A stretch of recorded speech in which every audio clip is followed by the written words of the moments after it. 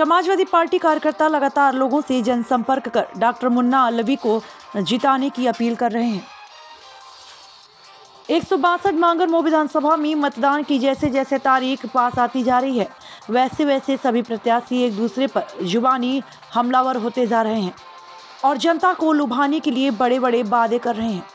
एक सौ बासठ विधानसभा प्रत्याशी डॉक्टर मुन्ना अलवी व कार्यकर्ता लगातार क्षेत्र में गाँव गाँव गली गली में जाकर जन से मिलकर साइकिल वाले खाने पर बटन दबाकर वोट डालने की और जिताने की अपील करने के साथ ही जनता से अच्छी शिक्षा, किसानों की सिंचाई की व्यवस्था, किसान मजदूर, नौजवान और महिलाओं को रोज़गार देने के साथ ही हर संभव मदद करने का वादा कर रहे हैं।